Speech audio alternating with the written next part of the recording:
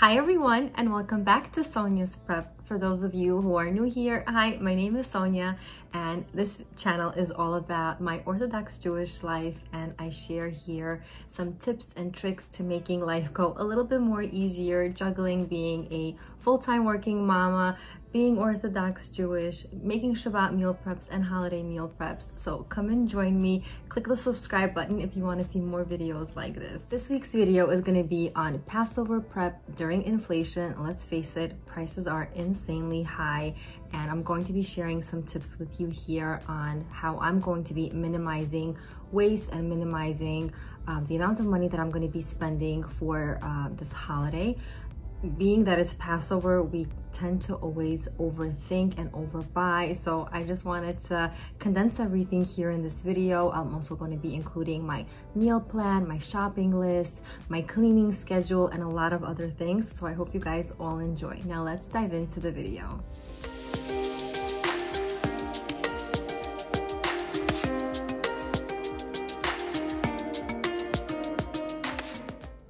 Before we dive into the actual video, I wanted to just recap quickly what Passover is all about. Passover is basically a holiday where the Jewish people celebrate the fact that they were emancipated from slavery when they were in Egypt thousands of years ago. And in that process of celebrating the holiday, we remove all types of wheat products, all the five grains like wheat, rye, spelt, oats, and I always forget one, um, and barley. So we remove all of those things from our home. Uh, we have different dishes that we use, different pots and pans. We have everything basically is new, um, like the dairy that we consume or any other types of meals that we're gonna have. They all have to be cooked in a way where it doesn't come in contact with any of those five grains.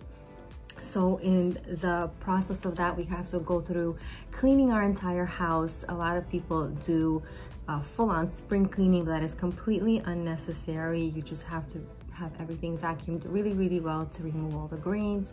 Um, after the house is clean, then we are able to prepare for the actual holiday. So I'm gonna go through with you what my cleaning schedule is like, um, we also have something called a Seder where we have a beautiful meal and we eat matzah and we drink four cups of wine and tell over the story so the little children can hear and learn of our history. And it's basically a very beautiful holiday. It's actually one of the major holidays in the Jewish religion. So let's get started and I'll tell you all about how I get ready for Passover. The very first thing that I do when I know that Passover is approaching about three to four weeks before it actually happens, this week I am very, very late because it's like two weeks away, I start organizing and prepping myself, uh, printing out a calendar. So I just literally print out a calendar. So this is for the month of April because it's already April 1st tomorrow. Oh my gosh, I know, anxiety, but we're gonna be okay. We're gonna do this together. So I print out a calendar and because I'm a full-time working mama, I know that I cannot possibly devote hours and hours a day to clean my entire house. So I micro um, organize myself a little bit each day what I can possibly accomplish. So you'll see in the schedule in my calendar that on Sunday the 3rd, I'm planning to do my kids' bedrooms and definitely my big kids are going to be helping me with that. I'll change out all of the sheets, vacuum everything, uh, wipe everything down, uh, go through their clothes uh, if need be and that will be a great help that's going to be done by my kids mostly and I'll just monitor and the next day on Monday I'm to do my master bedroom so this is all going to be done after work because I, I um, am working and I won't be able to do it all. On Tuesday, I gave myself a break and then on Wednesday, I'm gonna be uh, cleaning up my pantry, um, also maybe leaving space for me to go shopping and where I'll be able to dump all of my items that I'm gonna be going shopping for.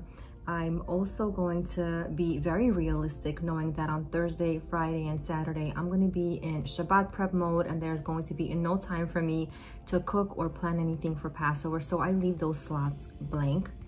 And then the following Sunday, I'm planning to do a huge shopping haul for Passover. And in the evening, I'll do a little bit of my kitchen cabinets. Um, and then on Monday, as you see, I'm going to be cleaning out my fridge, on Tuesday, I'm gonna be cleaning out my stove. And on Wednesday, I'm planning to turn over my entire kitchen. So that means I'm going to just completely be um, Pesach prep mode, meaning I'm going to be cooking for Passover or with Passover items so that on Thursday when I'm actually planning to cook for the actual Seders, I'm already all set and everything is clean. So as you can see, I just divided all of my tasks throughout the two weeks, a little bit at a time so that I'm not completely overwhelmed. So that is just a tip for you guys. If you are also working or if you're just very, very busy and staying at home, you could just not overwhelm yourself two to three days before the actual holiday and do um, little bits of stuff all throughout the next two weeks. The very next thing that I do is I start to menu plan and make my shopping list. So I do the exact same thing. I print out this um, calendar from the internet. It's free.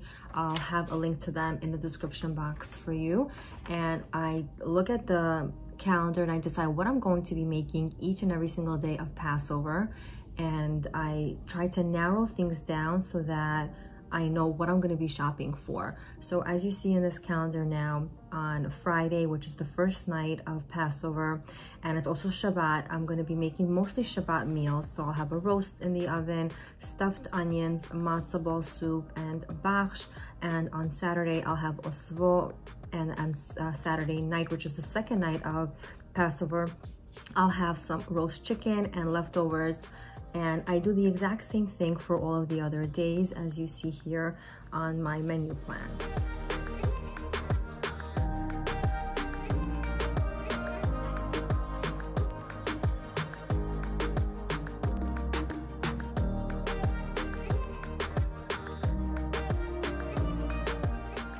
At my menu plan then, I create my shopping list and I found this a really, really cool website where you could actually plug in your shopping into uh, into the list. So i'll have a link to this as well.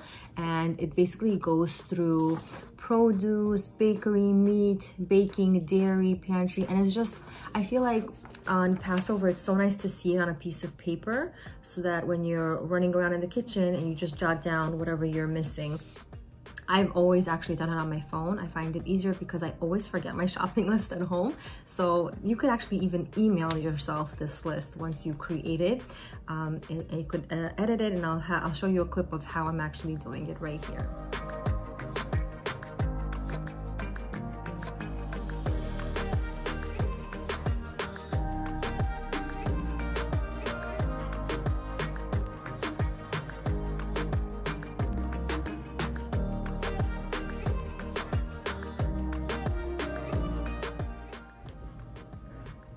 So as you see, it's very nicely divided into all these subcategories and you could actually, after printing out, if you forget something, you can just jot it down on this piece of paper and it's just a nice guide. I really, really liked it. So I hope you guys enjoyed and I hope it's useful for you as well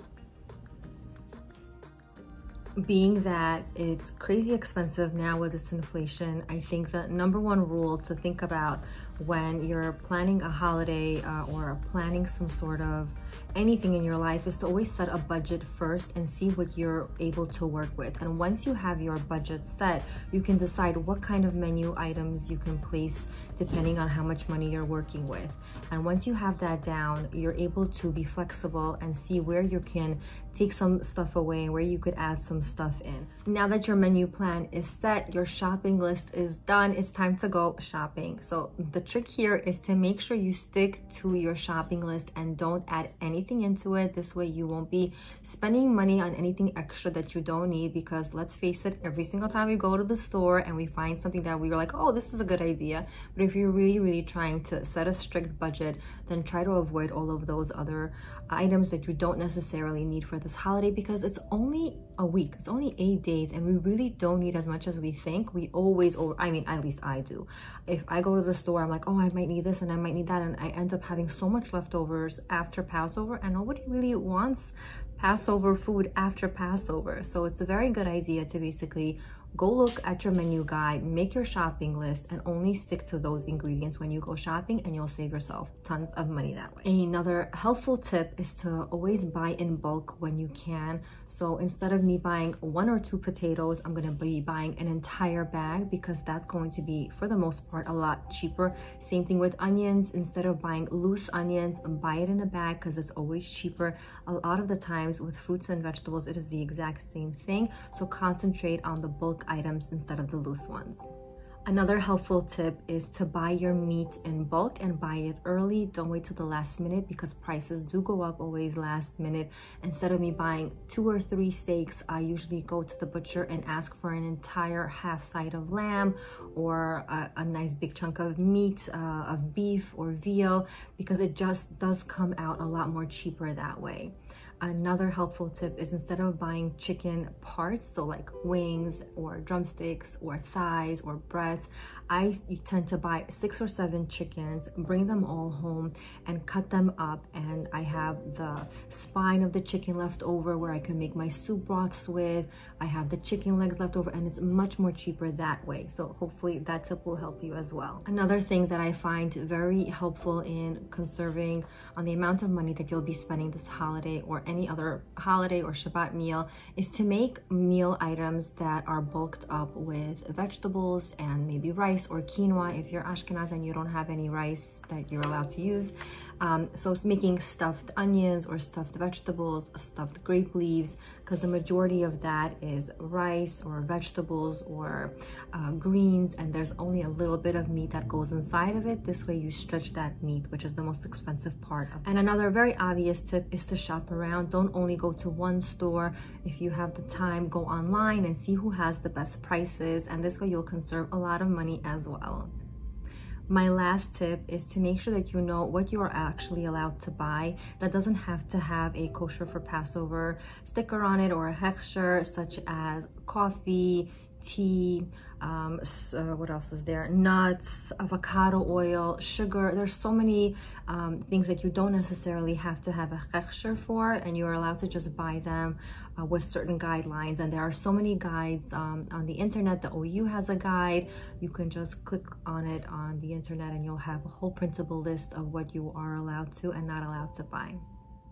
Well, that's it. I hope you guys enjoyed these tips and tricks on how I'm going to be prepping for Passover during inflation. There's a lot more Passover content going to be coming up.